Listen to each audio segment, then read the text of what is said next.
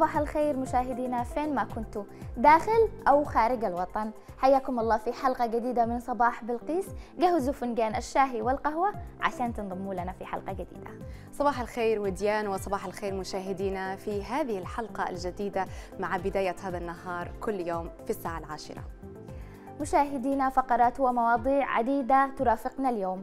موضوعنا الرئيسي بنتكلم عن كيفية استقبال الأسرة للمولود الجديد وتهيئة الوالدين لهذا اليوم المهم. وأيضا لدينا حديث عن تنمية الذات المرتبط بالمشاعر والأحاسيس لذا خصصنا موضوع عن أهمية الوعي بالمشاعر وكيف نتعامل معها بفعالية عالية. وكمان معنا تقرير مميز عن أبواب تعز وأشكاله المختلفة في أنحاء المدينة.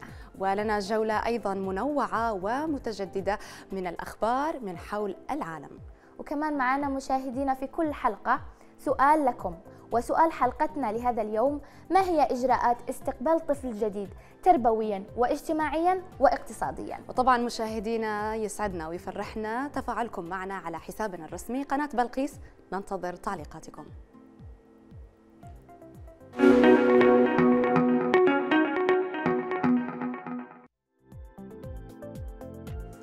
نفتتح أخبارنا المنوعة اليوم من محافظة ريما حيث قام الأهالي في مديرية كسمة بنحت الجبال ذات التضاريس الصعبة لشق طريق لتسهيل حياتهم وتيسير عملية المرور من وإلى المناطق المجاورة. وكذلك نقل البضائع والمستلزمات الحياتية إلى القرى المعلقة في رؤوس الجبال الشاهقة.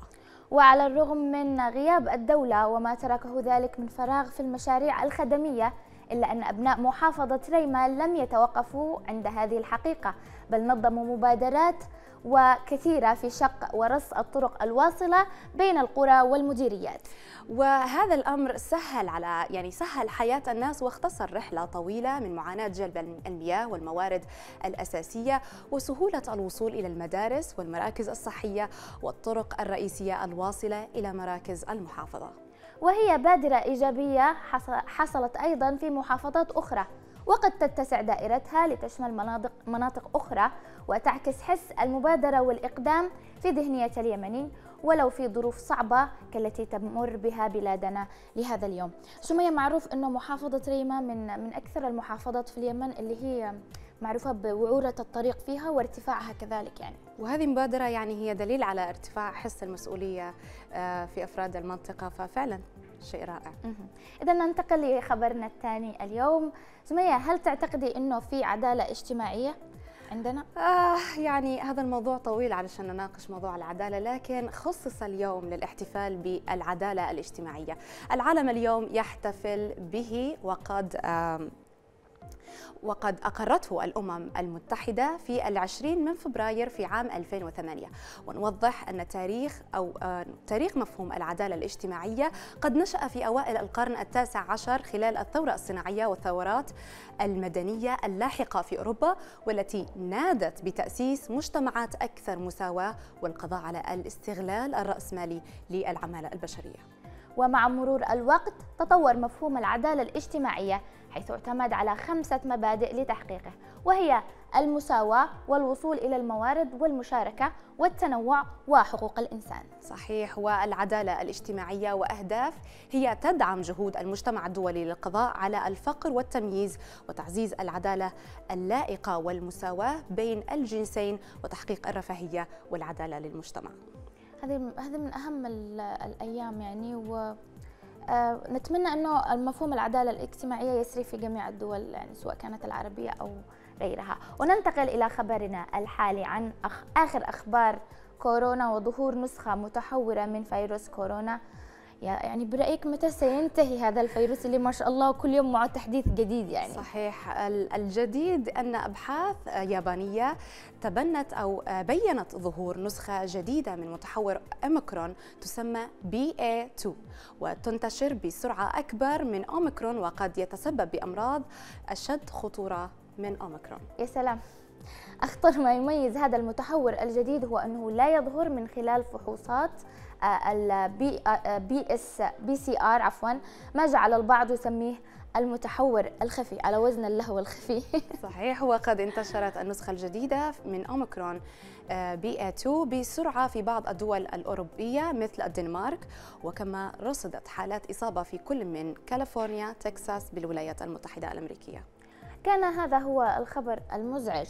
لكن الخبر الجيد في هذا الملف هو تصريح الأمين العام لمنظمة الصحة العالمية الذي قال فيه أن فرصة السيطرة على الوباء العالمي خلال عام 2022 لا زالت ممكنة محذرا أصحاب القرار والمعنيين من آه، من عدم تفويت هذه الفرصة.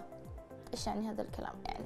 أظن إنه إحنا حنستمر باتباع الإجراءات اللازمة لحماية أنفسنا من كورونا ونتمنى إنه فعلا هذا المرض بدأ العالم يتأقلم مع هذا الوباء إحنا نتمنى إنه يحصل شيء. أوكي. ننتقل إلى خبرنا الأخير وهي قصة مؤثرة وملهمة في نفس الوقت عن سيدة تركيه وزوجها بإيجاد طريقة للأمومة بطريقة جديدة. ما هي سمية؟ التركية فاطمة آه، آه، سرتر آه، أصبحت أما لتسعين طفلا موزعين في مناطق مختلفة حول العالم بعد تبنيها الأطفال الأيتام من جنسيات مختلفة عبر منظمات خيرية.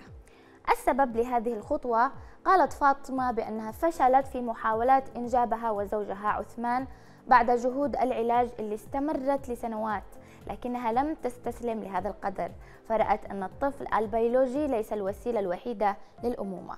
فعلا وربما تكون قصة السيدة فاطمة ملهمة للعديد من الأزواج الذين لم يتمكنوا من إنجاب أطفال ونموذج لنشر ثقافة التبني في أوساط مجتمعنا.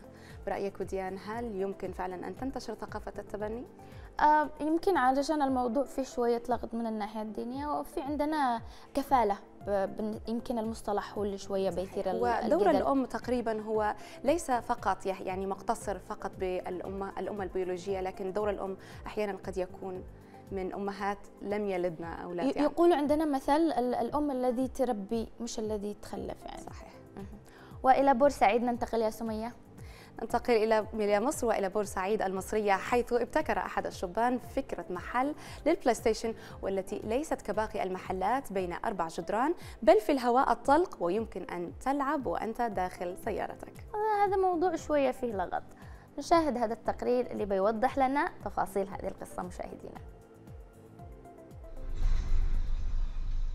لما الذهاب إلى متجر مزدحم للعب البلاي ستيشن إذا كان يمكنك أن تفعل ذلك وأنت مرتاح داخل سيارتك الخاصة.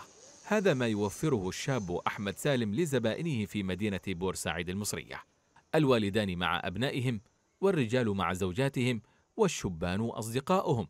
يمكنهم ببساطة قيادة السيارات حتى تتوقف أمام شاشة مثبتة على الجدار والبدء في اللعب من أماكنهم على مقاعد السيارة. داخل بتلعب بعربيتك مش شايل هم اي حاجة انت بتدخل تنزل الشارع عادي بعربيتك بتروح تاني وانت لسه في عربيتك وانت لعبت وكلت وشربت وكل حاجة حصلت لك الحمد لله. وسواء أكنت في مقعد السائق أو الراكب فأدوات اللعب في يدك. الأمر الذي حول هذا المكان إلى متنفس لقضاء وقت الفراغ في المدينة. جيت بفكرة إن أنا عايز ألعب بلاي ستيشن وأنا في العربية. قعدت مع صحابي يمكن هم أصحاب عشرة عمر كل واحد بقى من هنا بدأ الموضوع يتبني. كل واحد فيهم هم كلهم مهندسين. كل واحد فيهم في مجاله طلع لي أحسن ما فيه. يعني يمكن ال design بال... هنعمل إيه إزاي نحمي نفسنا من المطر إزاي نحمي نفسنا من كل الكلام ده كان باشمهندس عمر اتكلم فيه. آه سواء اتصالات system المكان كله باشمهندس عبد الرحمن. آه سواء gaming أو أي حاجة باشمهندس زياد. الناس كلها كل واحد طلع بفكرة قومنا المكان. يعني وصمم سالم وأقرب أصدقائه هذه الفكرة بالكامل واصبحت تحمل اسم Play Through على غرار القيادة وتلقي الخدمة من المطاعم. وفتح المكان أبوابه للجمهور الشهر الماضي في محاولة لاجتذاب من يتزاحمون في العادة على محلات الألعاب الأخرى ويزورونها بشكل متكرر. قصة جديدة إن إحنا مثلا قاعدين في البيت نغير جو شوية نعمل حاجة جديدة activity جديدة. لأن طبعا صعب إن حضرتك تاخد زوجتك مثلا وتروح المحلات البلاي ستيشن العادية التقليدية بوضعها الحالي. طبعا كلها سجاير آه، كلها طبعا شباب كتير بقى ده زحمة طبعا الوضع اللي إحنا فيه يعني الظروف الصحية والظروف اللي فيها البلد دلوقتي آه، آه، آه، مش مش مش مشجعة على حاجة زي دي.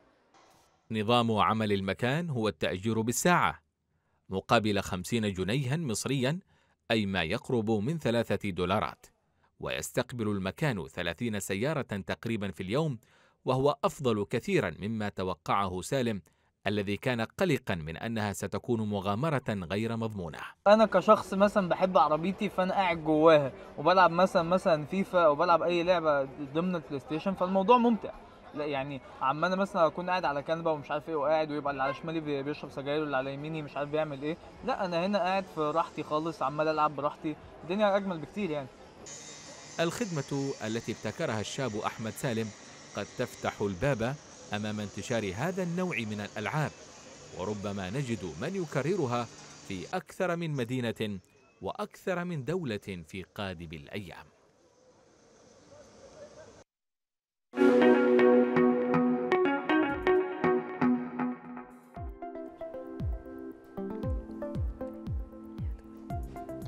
ما دام إنه يعني السيارة مركونة وهم جالسين يتفرجوا إذا إحنا في السليم يعني صحيح وممتعة جدا فكرتها فيها نوع من وأيضا المتعة وهذا المتعة الشيء. الآمنة يعني صحيح لأنه كنت أحسب إنه يسوقوا. و... ويلعبوا بلاي ستيشن بنروحوا في 60 دقيقه بعدين. لا فكرة رائعة جدا. وننتقل الآن مشاهدينا إلى موضوعنا الرئيسي. أن تحظى بنعمة انتظار مولود جديد هي تجربة ثرية وسعيدة بالنسبة لكل أسرة. ولكن مقابل هذا السعادة والحماس والترقب للتحدي الجديد هناك معادلة إضافية تتعلق بجوانب متعددة في حياة الأسرة الناشئة. استقبال المولود الجديد يعتبر حدثا خاصا ومميز في نفس الوقت ويحدث تغييرا جذري في حياة العائلة ويرتبط به التزامات ومسؤوليات متعددة. يجب أن تؤخذ في الحسبان من قبل الأهل سواء كانت التزامات اقتصادية أو نفسية أو حتى اجتماعية. ولأجل هذا الموضوع سألنا آه، يعني كان سؤال حلقتنا لهذا اليوم هو ما هي إجراءات استقبال طفل جديد تربويا واجتماعيا واقتصاديا؟ وننتظر تعليقاتكم لنقرأها في نهاية هذه الحلقة. مشاهدينا خلونا نتابع هذا التقرير وبعدين نواصل حوارنا حول موضوعنا اليوم عن استقبال مولود جديد. ونستقبل ضيف في الاستوديو. مجيء روح جديدة للحياة قد يعتبر سببا كبيرا للاحتفاء والبهجة. وهذا ما تفعله كل أسرة مع قدوم مولود جديد يحمل السعادة والبشرى. وتختلف طرق استقبال الأطفال الجدد من مجتمع لآخر. عادات وتقاليد متنوعة حول العالم لكنها تتفق جميعها على أن استعداد الوالدين للطفل الجديد يتطلب جهدا نفسيا واقتصاديا كبيرين. كل العوائل الموعودة بانضمام الفرد الصغير القادم تبدأ بترتيب إجراءاتها للتعامل مع هذا التطور الحاصل في العائلة الذي له تبعات على مختلف الأصعدة. وعلى رأسها البدء بتهيئة نفسية مع الأطفال الآخرين خصوصا إن كان هناك أطفال آخرون قبله في العائلة. فمن أكثر التحديات التي تواجه كل أب وأم تخفيف شعور الغيرة لدى الطفل الذي سبقه. ومهما كان عمر الطفل الأكبر فإن تجربة أن يحظى بأخ أو أخت قد تتضمن الكثير من المشاعر المختلطة ولا يقتصر الاستعداد على الأطفال فقط بل إن الوالدين بحاجة للاستعداد بانضمام طفل جديد للعائلة وفق مجموعة من الإجراءات. المواليد الجدد عالم له كينونة وتفاصيله ويتطلب توفير ظروف صحية ومناسبة لنمو المولود من الجوانب الجسدية والنفسية. ولكن هذا يغيب عن بال الكثير من الأسر التي تراه شكلا من أشكال الترف رغم أنه ضرورة كي يغدو الطفل عنصرا فعالا بالمجتمع في المستقبل.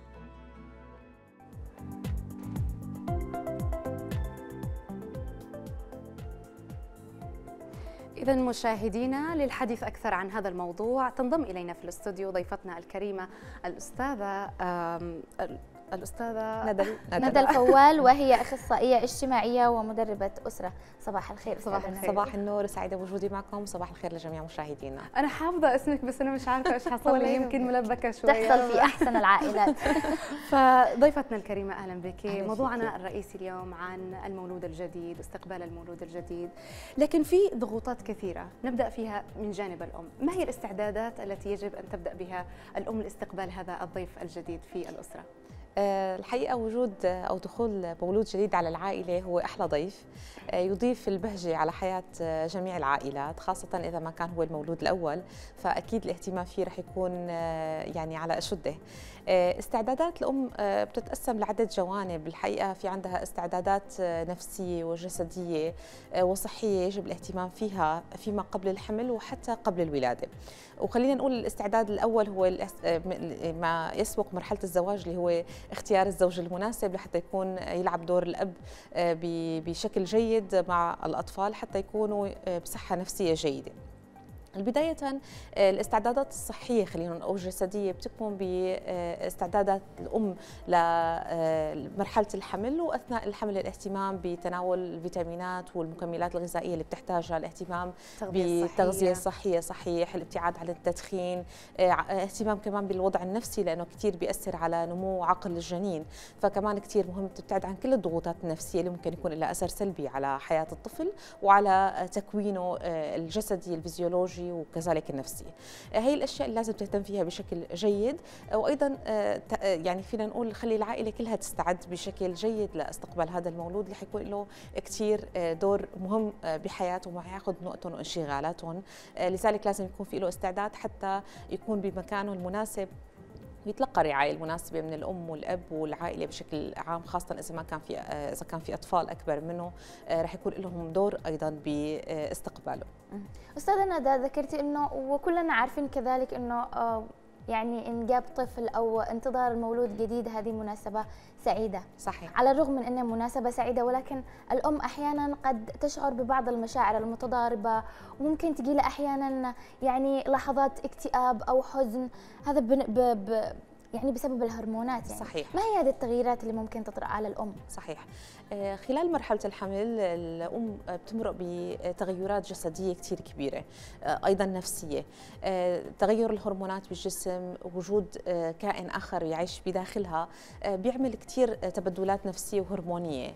أيضا تطور نمو خلال فترة الحمل أيضا بيأثر على هي التطورات وبتأثر على مزاجها بتأثر على اهتماماتها بتأثر على قدرتها الجسدية حتى للقيام ببعض الأعمال سواء كانت المنزلية وإذا كانت تعمل. آه، بيحد كتير من خياراتها لأنه بتتغير حياتها خاصة إذا كان هو المولود الأول رح تحس بفرق كبير ما بين حياتها قبله وبعده. يعني تعتبر تجربة جديدة بالنسبة طبعا لها. طبعا. وهذا كثير بيأثر على نفسيتها. المطلوب إنه المحيطين فيها يتقبلوا هذا الأمر اولا آه، ويشعروا آه، كما هي تشعر يعني تقلب مزاجها عدم قدرتها آه، بشكل كثير على الصبر على كثير من أمور أو الضغوطات الحياتية بسبب هذا التغير الهرموني. هي بحاجة لتاخذ ريلاكس بين الوقت بنف... باليوم تاخذ فترة من الراحة أثناء العمل آه، أو إذا حست إنه ما عندها قدرة جسدية على القيام ببعض الأعمال ممكن تأجيلها آه، حتى تكون قادرة على القيام بهذه الأعمال هي الأعمال. هذا كثير مهم حتى يقلل الضغط النفسي عنها وما يشعرها بثقل الحمل وتشعر بالمسؤولية الكبيرة آه، أثناء الحمل نفسه. فما بالك فيما بعد الولادة رح يكون في مسؤولية طفل آخر وكائن آخر بيعيش معها مطلوب اهتمام فيه طول الوقت وهي بحاجة لإنه تكون جسديا قادرة على هذا الأمر. صحيح. طيب من من جانب الأب دائما نلاحظ معذرة آه، نلاحظ إنه آه، قدوم المولود الجديد آه، ممكن يؤثر على نفسية الأب لكن أحيانا الآباء لا يلاحظوا هذا الضغط النفسي اللي صحيح. يشعروا فيه. أحيانا يدخلوا في حالة من ال- التغيرات النفسية لكن آه، ما هي هذه التغيرات اللي ممكن تصل أحيانا ربما إلى الاكتئاب؟ صحيح. آه، كتير مهم سؤالك الحقيقة. غالبا الأب بيكون دوره شوي بعيد خاصة لما نحكي عن مولود جديد بنحكي عن الأم وبنركز عليها وبننسى أنه في أب عنده مسؤولية تجاه هذا المولود الجديد. هو أيضا بحاجة إلى الاهتمام كما الطفل الجديد القادم. يعني الأم بيكون في عندها مسؤولية إنه تمشي حياتها في البيت كما كانت سابقا توزع اهتماماتها على نفسها وعلى المولود الجديد وعلى زوجها. وبنفس الوقت كل واحد منهم له دور ومهام بهي العملية المتكاملة لأنه هذا دورهم كعائلة. دور الأب كثير مهم بشخصية الطفل وبنائه النفسي آه، خاصة في مرحلة ما بعد الولادة. آه، ضيفي على هذا الأمر الأم غالبا بتتعرض لما يسمى باكتئاب ما بعد الولادة. فهي بحاجة لدعم ورعاية واهتمام من الزوج كما هو أيضا بحاجة لهذا الدعم لأنه هو بيشعر أنه في دخيل جديد عن العائلة أخذ أو استحوذ على اهتمام الأم. ورعايتها هذا الأمر كثير مهم إنه تحاول تدركه الأم قدر الإمكان لحتى يشعر الوالد آه، بمسؤوليته وما يشعر إنه هو مستثنى ومستبعد خلال آه، وجود المولود الجديد بالعائلة بشكل جديد. يعني آه، تحاول قدر الإمكان الأم تعطي من الاهتمام تشرك الزوج بمسؤولياتها تخليه يساعدها ببعض الأعمال تحضير الببرون للبيبي يا ريت تسمع أستاذة. صحيح هذا الأمر كثير مهم. بعض الآباء للأسف بيكونوا بيعتقدون إنه الأم هي أنا بيبي صغير شو بقدر أعمل له في بعض الآباء يا أستاذ يعني يغيبوا عن هذه الفترة تماما يعني. صحيح. طوال هذه الفترة مش عارفين إيش يحصل. صحيح صحيح. وهذا الشيء بينعكس سلبا حتى على نفسية الأم لأنه بتشعر بمسؤولية عندها هرمونات مضطربة ومتغيرة حتى ما بعد الولادة ومرحلة الرضاعة. آه، بحاجة لسند ودعم. هذا الدعم كثير رح يخفف عنها آه، الأثر النفسي لكل الضغوطات اللي عم تعيش فيها وبيخليها تستمتع نوعا ما وتاخذ نفس يعني آه، لتهتم بنفسها لتهتم طيب. بأطفال الآخرين وبالمهام المطلوبة منها بنفس الوقت. الآن أنت أنت ذكرتي أشياء عن دور الأب لكن مثلا ممكن نوضحها بشكل أكثر يعني عن دور الاب ما قبل الولادة، دور الاب ما بعد الولادة، إيش ممكن يعملوا الآباء إذا هم مثلا مش عارفين إيش ممكن يعملوا كدور آه، مع مع زوجاتهم، مش بس الدعم النفسي، هل في أدوار أخرى ممكن هو يقدمها؟ صحيح، هلأ في مرحلة الحمل آه، بحد ذاتها في مساعدات كثير كبيرة، اهمها أنه الأم كثير من الأعمال المنزلية ما بتقدر تقوم فيها نتيجة ثقل الحمل وما بتقدر تتحرك بشكل سريع فبتحتاج دائما لعون يعني سواء كان بلبس بعض الأشياء أو بالمهام المنزلية الزوج يعني المطلوب منه إنه يساعد بالأمور اللي لا تستطيع زوجته القيام فيها. بحد ذاته هي المساعدة غير إنه هي هو بي بيسهل الأمر عليها. هو بيشعرها إنه هو شريك وهي بحاجة لتشعر بهذا الأمر وما تحس إنه هي مسؤوليتها وحدها الحمل والولادة والمولود الجديد لما بنبتدي من هون الاب الأب رح يشعر بدوره كأب يعني رح يبلش يشعر بمشاعر إنه أنا شريك ونحن حنصير عائله يرتبط بالبيبي تماما. صحيح. وحتى هو بجهز نفسيا هذا الاستعداد النفسي لدوره كأب وليس الأم فقط. آه، فيما بعد ذلك فيما بعد الولادة الأم بتحتاج كثير مثلا مناوبات ليلية. الطفل بالأشهر الأولى ما بينام بشكل متواصل بالليل فدائما في استيقاظ متكرر للرضاعة وغيره الأب مسؤوليته أنه يتابع هذا الأمر مع الأم لأنه كمان هي بتحتاج لقسط من الراحة حتى تقدر تقوم بمهامها كأم سواء كان بالرضاعة أو الاهتمام بالطفل الجديد. وهون بيكمن دور الأب. بالإضافة لإشعارها أنه هو دائما جنبها هو سندها هو عم يسمعها مهما كانت عم تتذمر بعض الأحيان من المسؤوليات أو من التعب يستوعب هذا الأمر ويكون سند لإلها. هذا الأمر آه، ضيفي عن أنه هو بيساعد الأم وبيساعد الأب أنه يشعر بدوره كأب آه، داخل العائلة ويبلش ياخذ دور جديد بحياته ليس فقط كزوج. طيب أستاذة ذكرنا الأم وذكرنا الأب. نجي للابن أو الطفل اللي يكون أصلا الأخ الكبير يعني. كيف نهيئه لاستقبال مولود جديد من دون ما نعاني من موضوع الغيرة؟ صحيح. يعني هذا السؤال كمان كثير مهم الحقيقة. آه، دخول مولود جديد للعائلة إذا كانوا الأطفال آه، صغار سنا بيكون الأمر أصعب.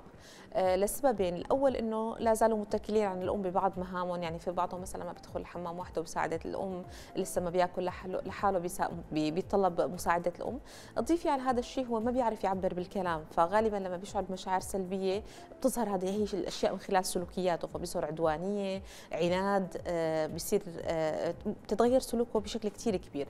هذا الأمر آه، بيخلي الأم بحالة توتر لأنه في عندها بيبي جديد مطلوب منها تهتم فيه. وبنفس الوقت آه، لازم تكون مركزة مع الطفل الأكبر سنا ليش هيك عم يتصرف شو حاجاته النفسية الناقصة هل يشعر بالغيرة فعلا كيف يتعامل مع الأمر. آه، نقطة مهمة إنه دائما اشرك الطفل سواء كان صغير أو كبير طالما إنه في طفل جديد دخيل على العائلة جديد فنحن بحاجة إنه نشعر الطفل بإنه هو مسؤول كونه هو الأكبر سنا. شركه مثلا لما بفترة الحمل عم بشتري أغراض الطفل الجديد آه، ملابسه. آه، أطلب الأخ الأكبر إنه يشاركني. تعال نختار لاخوك شو البنطلونات اللي بده يلبسها آه، الأحذية شو رأيك بهذا اللون إلى آخره. فبيشعر إنه هو له أهمية وبيتاخذ رأيه. فهذا شوي شوي مع كثير من الاهتمام بهذا الجانب رح يقلل من مشاعر السلبية ومشاعر الغيرة اللي حتكون مرافقة للطفل عند إنجاب طفل جديد. لما بينولد أيضا الأمر بهذا الشكل بطلب منه المساعدة آه، ممكن تعطيني الغيارات تبع آه، أخوك ممكن تحضر لي ممكن تساعد. حتى أحيانا بالرضاعة إذا كان بياخذ ممكن الرضاعة الصناعية ممكن يساعد بهذا الأمر لكن طبعا بإشراف الوالدين. حتى يشعر إنه هو داخل هاي الدائرة وليس خارجها أو مستبعد لأنه صغير. أيوة هذا يعني الأمر رح يخفف من المشاعر. لأنه هو تقريبا البيبي الجديد يعني يأخذ كل الاهتمام تماما. والوقت والمجهود. صحيح. وهذا يخلي الأطفال يحسوا بنوع من فقدان الأمان. صحيح. انه هو في ما عاد هو المركز أيوة. والمحور صار في اخ ثاني عم يتوزع الاهتمام له فأصبح في شريك حتى بالمشاعر. فحتى ما يشعر إنه هو آه، اجى حدا حل مكانه وانما اصبحنا شركاء آه، ضمن هي الأسرة. هذا الأمر كثير مهم متابعته وتكون الأم فعلا منتبهة لتصرفات الطفل وما تنتظر منه يعبر بالكلام إنه هو يشعر بالغيرة أو هو مزعج. لازم آه، تترجم تصرفاته حتى تعرف ما فعلا هذا الكلام مهم إنه تعبر عن حبها لابنها دائما تماما. الابن الكبير. تذكروا دائما إنه مهم وإنه موجود. صحيح. فعلا لأن الاطفال زي ما ذكرتي ما يعرفوا يعبروا عن عن المشاعر اللي بتزعجهم. صحيح تمام نأتي الآن إلى الجانب المالي وهو الجانب اللي يقلق دائما الاب أكثر صعوبة. هل في طرق ممكن آه، نقدمها كنصيحة للأباء والأمهات الجدد في يعني في توفير أو طرق أو سبل لتوفير المال بمناسبة قدوم البيبي الجديد؟ صحيح. كمان هذا الأمر جدا مهم ومتعلق بميزانية كل أسرة. آه، بعض الأسر بتكون عندهم ذوي دخل محدود يعني عندهم ميزانية محددة بيستطيعوا آه، يستخدموها آه، لموضوع دخول طفل جديد أو آه، مولود جديد. الأمر هون متعلق بتقسيم الأولويات خلينا نقول وتحديد النفقات. بمعنى مثلا من خلال الاستعداد للولادة الأم تشتري بعض الأشياء والحاجيات للطفل. المفروض إنه هي ما تكسر من الأشياء لأنه غالبا العاطفة بتكون هي المسيطرة فبتروح تشتري كل شيء بالسوق. واحيانا تشتري قطع غريبة ما, ما تعرفش أصلا كيف تستخدمها؟ تماما بس تقول لا اشتيها. وهي يعني مش مهمة. صحيح أو أحيانا تكون انها لطيفة أو شكلها شكلها كيوت صحيح. تماما صحيح. فهي هون النقطة إنه هي ممكن تبالغ بالشراء لمجرد إنه أشياء عجبتها فتبلغ يعني تبالغ بالنفقات. هذا الأمر كثير مهم إنه تحط ميزانية محددة وتحط الاحتياجات قائمة بكل الاحتياجات وتقسيمها على أشهر الحمل بشكل نحن كل شهر أقدر أجيب بعض الاحتياجات. وتحاول تركز إنه ما تكون تحت سيطرة مشاعرها وإنما فعلا هي الشغلات اللي هي بحاجتها والأشياء اللي هي بحاجتها هي اللي تشتريها فقط. حتى ما يكون في آه، يعني الميزانية تكون آه، قادرة على السيطرة عليها. وتجهز فيما بعد الولادة ليس فقط بالملابس الطفل وإنما أيضا هن بحاجة لتوفير بعض المبالغ للأمور الطارئة لأنه الطفل خاصة بالأيام الأولى, ممكن. تحتاج الأم لزيارة الطبيب لأنه هي بتكون بحالة توتر وهو حديث الولادة ممكن يحتاج لعلاجات معينة أو أدوية معينة تظهر فيما بعد الولادة فلازم يكون في استعداد مالي وإلا حيشكل ضغط نفسي كثير على الأم وعلى الأب. فلازم يكون في اهتمام بهذا الأمر. ياخذوا بالاعتبار الجانب الطبي أو الصحي والاهتمام فيما بعد الولادة ويكون في ميزانية مخصصة له وكثير جانب مهم إنه لو كان في آه، أخوات أكبر منه فلازم كمان ما ننسى هون من الهدايا ومن شراء الأشياء آه، ولا اللي أثناء الولادة. طبعا لأنه هو حيشعر بالغير الأطفال الآخرين لما يشوفوا كل الاهتمام على المولود الجديد وهن ما بيجيبوا له شيء فمن هم حتبلش بذور الغيره والمقارنة. فيجب الانتباه لهذا الأمر حتى ما يشكل مشاعر سلبية لدى الطفل لاحقا. اذا رسالة لكل الأمهات. إحنا عندنا باليمن نسمي هذه الأشياء تنافس. ابتعدوا عن التنافس واشتروا الأشياء المهمة. آه نأتي إلى آه بعض العادات العادات والتقاليد. أستاذة ترهق الآباء. وتعرفي يعني لكل دولة آه يعني عادة وأشياء مكلفة ماليا يعني. صحيح. كيف يتعامل الآباء مع هذا الشيء؟ أعتقد هذا بيرجع لاختيار الزوجين لبعضهم. آه، مرجعيتهم بالحياة دائما آه، كيف بتكون؟ يعني بعض الأهالي أو الناس مرجعيتهم خلينا نقول عادات وتقاليد. يعني كثير بيلتزموا بعادات وتقاليد المجتمع اللي عايشين فيه. هذا ممكن يسبب لهم آه، حرج ببعض الأحيان لأنه ممكن تكون ميزانيتهم لا تسمح لهم بمجاراة هذا الأمر. لما بيكون الإنسان أحيانا ممكن مرجعيته دينية ممكن يعني فينا نقول تختلف مرجعية كل إنسان. صح. هذا الشيء يحدد هو كيف رح يتعامل مع كل موقف مواقف حياته بما في ذلك الأمور المتعلقة بالعادات والتقاليد والأعراف. يعني مثلا لو نحن متفقين نحن مثلا زوجين من من من ثقافتين مختلفتين آه، متفقين على إنه اللي آه، بيمشي معه العلم نحن ماشيين معه يعني مرجعيتنا علمية خلينا نقول. فرح يخلينا آه، نقلل من بعض هي الأشياء لأنه إذا ما كان في لها أثر جيد على الطفل فأنا ما راح أعملها. مثلا في بعض حتى العادات ليس فقط ماليا حتى مثلا في بعض العادات بيحطوا ملح على جسم الطفل الجديد أو بيحطوا مكونات معينة. هاي ثبت العلم إنه هي ممكن يكون لها أثر سلبي كثير على الله الطفل. بالطفل عندنا نحن العرب يعني. جدا يعني وتختلف من مجتمع لاخر آه، لذلك الأمر كثير مهم إنه نتابع هذا الأمر. صح عفوا. فمتابعة الأمر. خذي خذي خذي نفس صحيح فعلا موضوع الاهتمام آه، أو الجانب المالي والعادات والتقاليد عادة هي ترهق الوالدين والتعب الأهالي في إحنا 40 يوم تجلس صحيح يعني هذه فعلا مشكلة ويتكلفوا الأهالي ويتكلفوا الآباء والأمهات بس عشان آه، يحسوا بالفرحة وعشان يكون عشان زي ما نقول نبيض وجهنا وهذه تكاليف مرهقة على الآباء والأمهات. فعلا وخاصة في وضع يعني في الوضع الحالي يعني هذه تعتبر يعني كارثة بالنسبة لهم صحيح. كارثة مادية يعني. صحيح. لذلك يجب الابتعاد عن هي الأمور اللي ممكن تشكل عبء على الأهل وحتى مو مو خلينا نقول تناقض مع ما يعتقدون فيه. تمام. سواء كان اقتصاديا ماديا أو آه، آه، معنويا خلينا نقول. يعطيك ألف عافية الله يعافيك. أستاذة ندى. فعلا الموضوع يعني مهم جدا ونتمنى أنه يكون الأمهات الجدد اللي يستقبلوا المولود والضيف الجديد استفادوا من هذه الفقرة. شكرا لتواجدك معنا. وإذا المشاهدين إن شاء الله يكون المشاهدين استفادوا من كلامك لأنه فعلا مهم. إن شاء الله. قدوم طفل جديد ليس بالأمر السهل يعني. صحيح صحيح. شكرا لكم ونهاركم سعيد. ونهارك أسعد. اذا مشاهدينا للنجاح أوجه كثيرة منها ما قام به الفلسطيني عبد الكريم أبو حجلة البالغ من العمر 34 عام. هذا الشاب اللي لم يقل ذات يوم مستحيل أو لا أستطيع. فصنع مركبته ذات الدفع الرباعي بيديه. خلونا نشوف التقرير التالي ونرجع لكم. يقف بفخر أمام أصدقائه ليريهم ما صنعته يداه.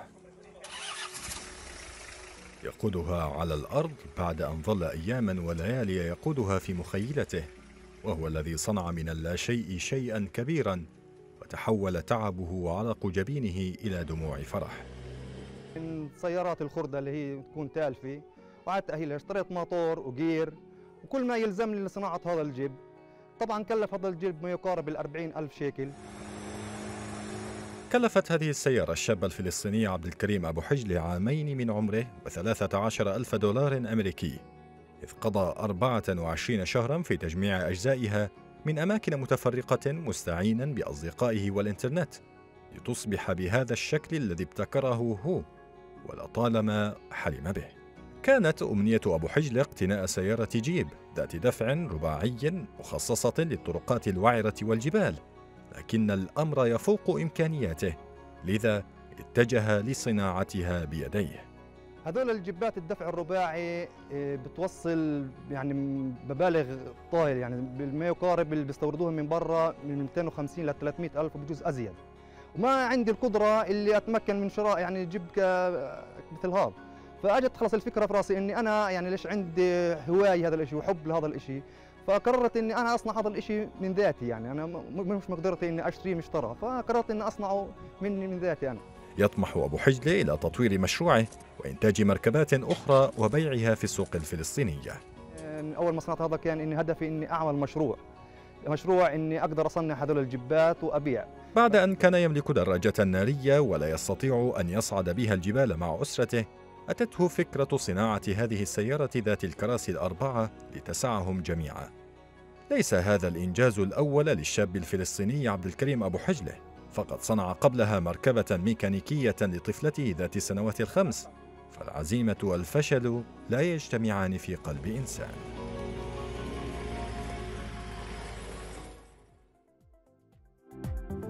فعلا اختراع رائع يعني يعني اخترع سيارة أنت مستوعبة؟ وأربعة بدفع رباعي آه، يعني. صحيح فعلا. ممكن أفكار بسيطة لكن آه، تتحول إلى شيء كبير ومهم ويستفيدوا منها الجميع.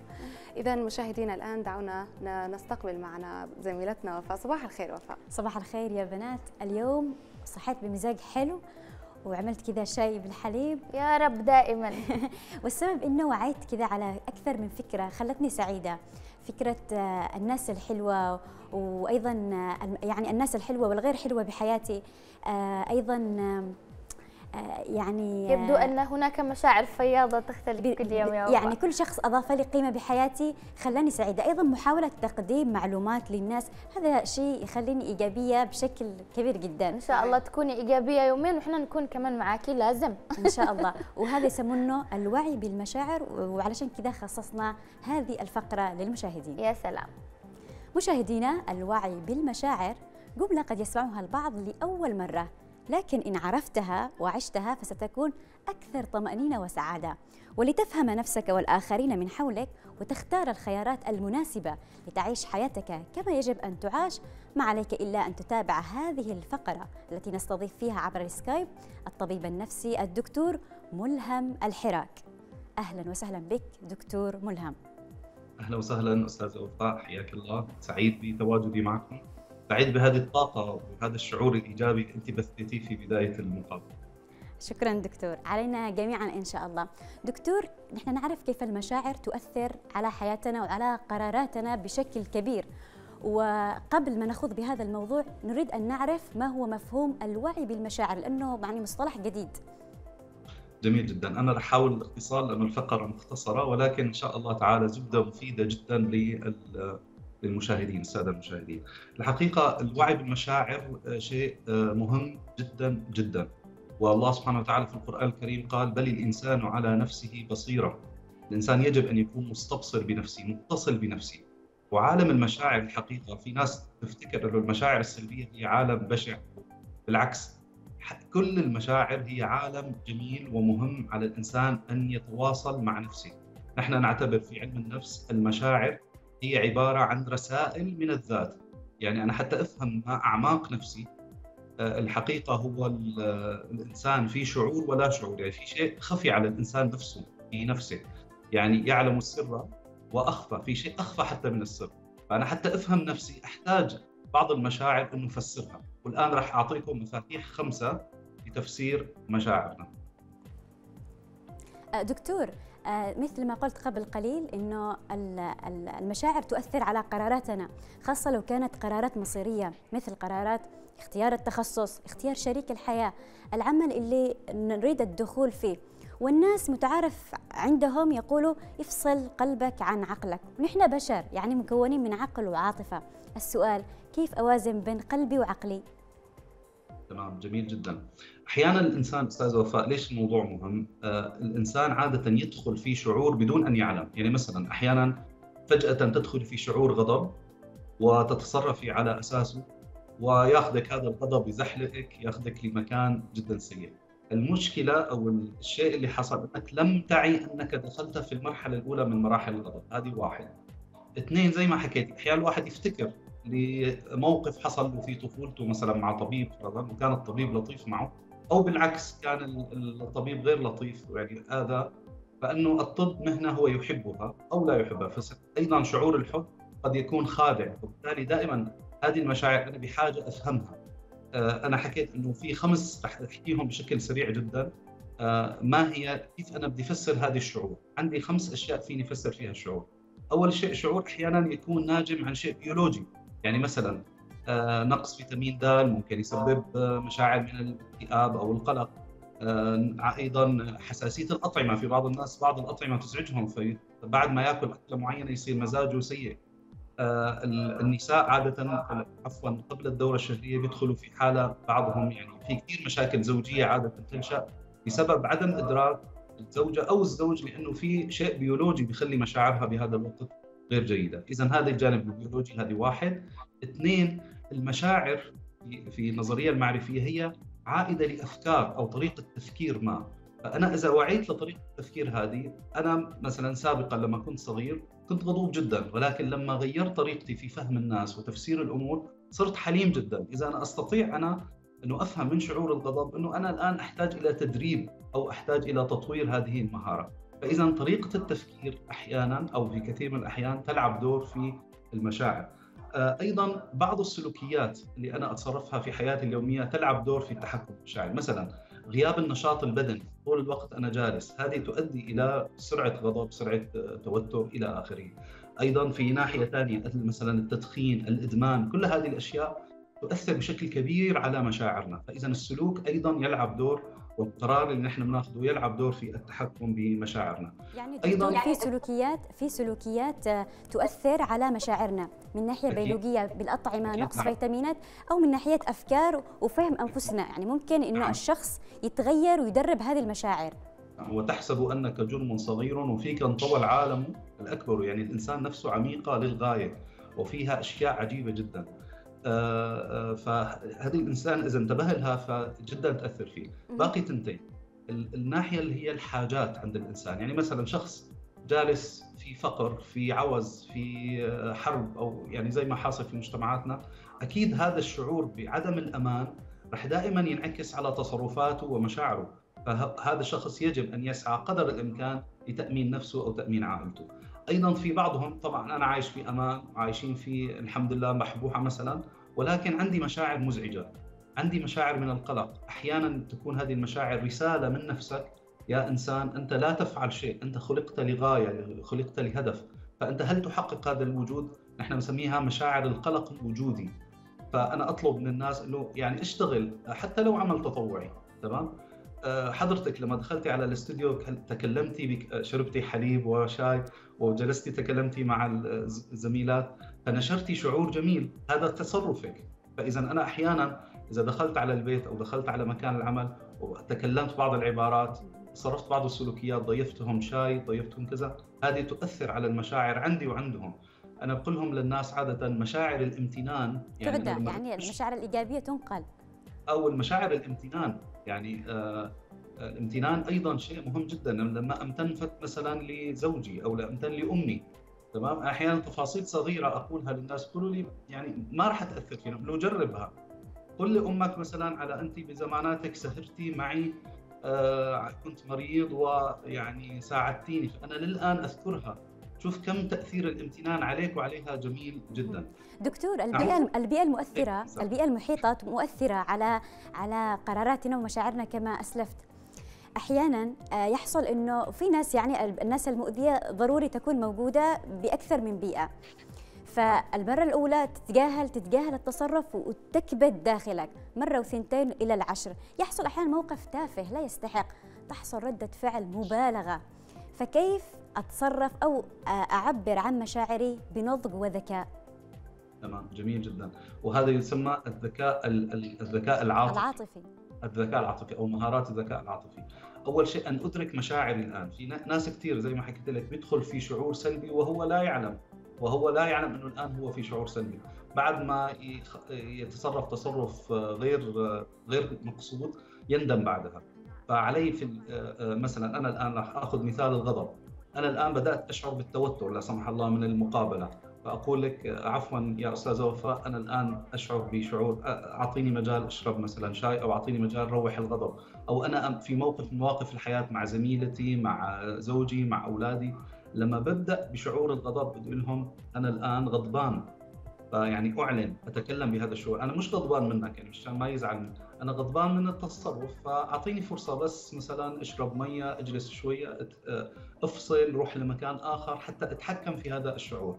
فهذا التصرف جدا سليم. في ناس مثلا لما يطلعوا على مقابله على التلفزيون على مسرح الطلاب يعني مثلا وهو متوتر مش متعود على هذا الشيء. فطبيعي إنه الواحد يتوتر. فطبيعي إنك تكون يعني فاميليار ألف مشاعرك تقول لهم للناس. آسف أنا هذه أول مرة أطلع على التلفزيون أو اول مرة أطلع فأشعر بقليل من الارتباك. أنا سمعتها من أساتذة في الجامعات هذا الكلام في محاضرات أحيانا يقولوها. فشيء عادي وطبيعي نحن بشر في النهاية. الاعتراف بالمشاعر مثل أنا جوعان أنا عطشان أنا متوتر أنا زعلان أنا غضبان. الإنسان لازم يكون familiar يحكيها عادي جدا إنه نحكيها. وأيضا لما أشوف الطرف الآخر تعبان أو غضبان وداخل معي بنقاش له باين عليك الغضب اجلس شوي رح أجيب لك مي. ساعده على التحكم بغضبه. وأنا يعني عندي آه، بعض الشعوب تجدها عندها ذكاء عاطفي. مثلا آه، عندنا في الشام عند يعني غالبا مدينة دمشق تجدهم في يعني مش تمييزا لباقي المناطق أيضا أهل اليمن أهل التجارة. دائما أهل التجارة يقرؤون مشاعر الناس لأنها آه، التجارة تتطلب شيء من الفهم النفسي للآخرين. حتى أنا أعرف اروج المنتج تبعي. فتجد الناس اللي بيشتغلوا في التجارة عندهم ذكاء في موضوع إدارة المشاعر لما يشوفوا عميل غضبان إلى آخره. آه، يأتيني تجار إلى الاستشارات أقول لهم كما تمارس الذكاء العاطفي. يعني أحكي لهم هذا الكلام. في تجارتك مارسه مع زوجتك مارسه مع أطفالك اللي طيب هن بالبيت إنه بالبيت لازم نتعامل معهم بطريقة أفضل خيركم خيركم لاهله آه شكرا لك دكتور ملهم الحراكي أخصائي في التربية النفسية. كنت ضيف معنا اليوم في صباح بلقيس. مشاهدينا الكرام فعلا أن الوعي بالمشاعر يجعلنا نمسك بزمام الأمور وتكون تصرفاتنا فعلا صحيحة. ودمتم دائما بوعي وحياتكم مطمئنة ورائعة. أعود الآن لزميلاتي. أحب أن أختم كما قال الأستاذ مل... الدكتور ملهم بأبيات لعلي بن أبي طالب رضي الله عنه قال دواؤك فيك وما تشعر وداؤك منك وما تبصر أتحسب أنك جرم صغير وفيك انطوى العالم الأكبر. يا سلام يا سلام, يا سلام هذه من أحد من المقولات المفضلة فعلا يعني.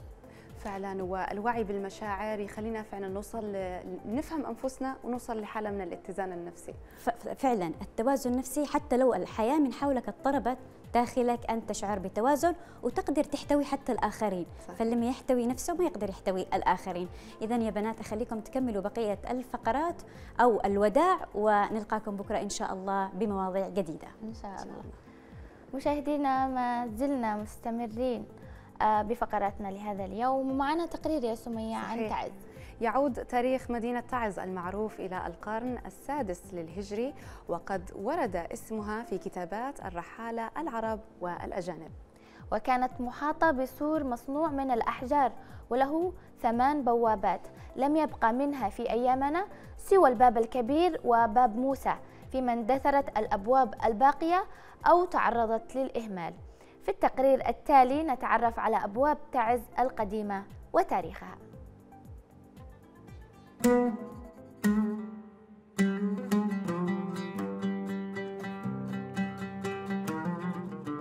أجمل المدن اليمنية وقلعة عظيمة من قلاع اليمن وليس في اليمن أسعد منها مدينة. هذا ما قاله الرحالة في كتبهم عن تعز بدءا من ابن بطوطة الذي زارها في عهد الدولة الرسولية مرورا بياقوت الحموي الذي حل فيها مدة قصيرة من الزمن عام 1229 وانتهاء بالرحالة الأوروبي لودوفيكو الذي زارها عام 1508 وهذا ما بقي من سور تلك المملكة المعروفة حاليا بمدينة تعز القديمة.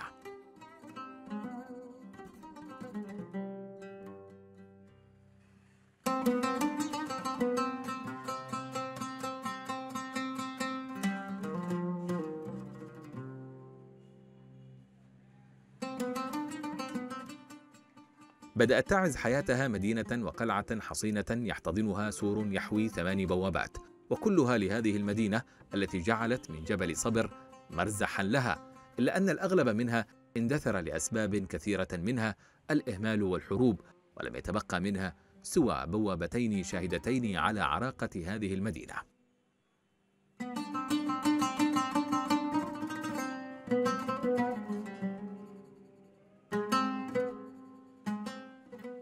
أول هذه الأبواب باب موسى ويقع شمال غرب المدينة وهو مدخل تجاري للمدينة وشكل على مدى مئات السنين مصدر أمان للسكان هناك وأعيد تشييده آخر مرة في العهد العثماني وهو الباب الباقي إلى يومنا هذا إلى جانب الباب الكبير شمال شرقي المدينة الذي أعيد تشييده عام 1956 وهو المدخل الرئيسي والتجاري الذي يوصلك بالسوق بشكل مباشر.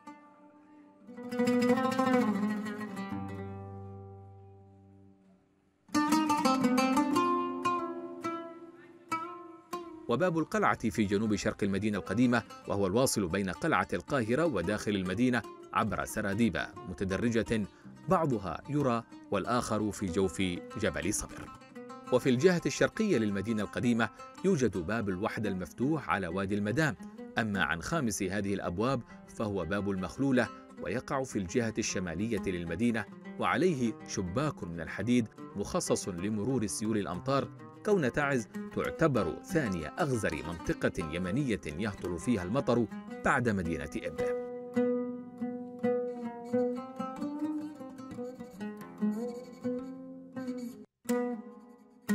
والزائر للمدينة من منتصفها أي من الجهة الغربية كان بإمكانه الدخول حيث يقع باب المداجر أو ما يعرف بباب المحاريق وهو من الأبواب المندثرة أو الباب الثامن المعروف باسم باب الشهابية الواقع في الجهة الجنوبية الغربية تحت قلعة السراجية القريبة من جامع عبد الهادي.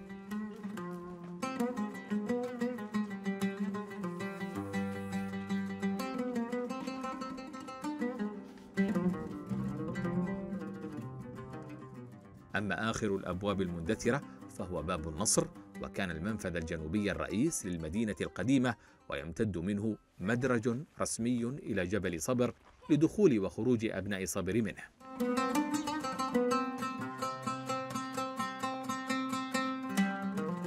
كانت تعز عاصمة الدولة الرسولية والدولة المتوكلية مؤخرا وفي العام 2013 منحت رسميا لقب العاصمة الثقافية لليمن. وكان السور يحفها إلى جانب الأبواب التي كانت تحمي ساكنيها عندما تغلق ليلا. فينام سكانها آمنين كأنهم في منزل كبير.